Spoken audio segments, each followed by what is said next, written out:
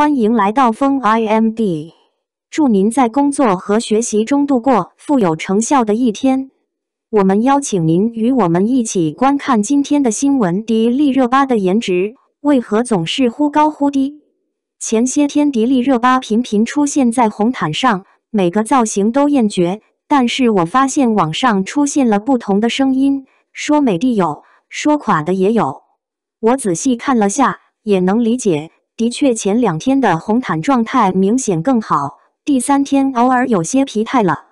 迪丽热巴的浓颜是美的很惊人的，这种长相，说实话，我生活中没见过。基本就是天生要吃演员这口饭的脸，她的骨相得益于少数民族的基因，特别立体。从三庭来看，她整体面部偏窄长，是偏成熟的脸型。她侧面骨相立体，面部也比较流畅，颧骨和下颌骨的骨量都很小。她的五官中，眼睛和鼻子在面部的占比都比较大，眼睛非常大，双眼皮也是又深又宽的平行双眼皮。所以她的双眼就很西化，加上她的鼻子，可以说是算娱乐圈中数一数二的高鼻梁女明星了。这种鼻梁高度，也就迪丽热巴可以 hold 住了吧。所以她的大五官给她带来的美貌是比较明确的，第一眼大美人的那种浓眉大眼，加上超高挺的鼻梁，同时也给她带来了一部分英气。当然，有些不喜欢英气的人。会说她偏男香，但是大五官也有缺陷的。五官之间的皮肤和骨相贴合度可能比较差一点，容易引起松弛。所以迪丽热巴偶尔会被拍到一些状态不好的照片。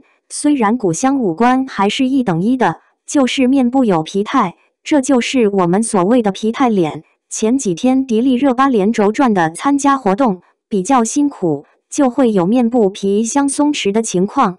关于熬夜对颜值的伤害，我想熬过几个大夜的人心里都是有点了解的。包括有时候看电视剧，我都发现明星的颜值也会忽高忽低的。所以状态好太重要了。咱们生活中想要变美，医美、护肤、打扮都是其次，作息规律、恢复最棒的精神头才是最佳的美容圣品呀！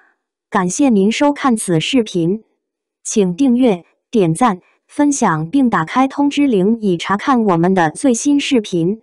谢谢，下个视频再见。